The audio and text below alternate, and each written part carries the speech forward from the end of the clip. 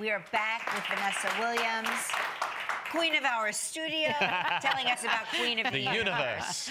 Yes. So yeah, tell us about the show. What what is So it? it's a global competition with drag queens that are singing, no lip syncing Okay. allowed, and they are singing. I mean, it is unbelievable. So, and they're all, you know, this uh, we've got.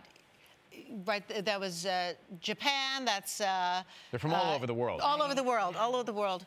Um, and if you close your eyes, sometimes you would not know that these were men singing in the original keys of these songs. It's it's And spectacular. You have a former American Idol contestant, Yes. Ada Vox, who was Oh, incredible Vox, of on our show. yes. Right? Unbelievable. Look at that. There's Yeah. a shot there. Again, you close your eyes, you don't know that that's a man singing. She's got an amazing, amazing range.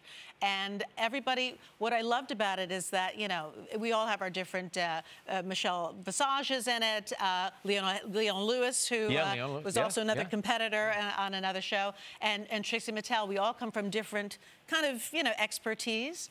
Um, but we, they all improved week after week, and it was really spectacular.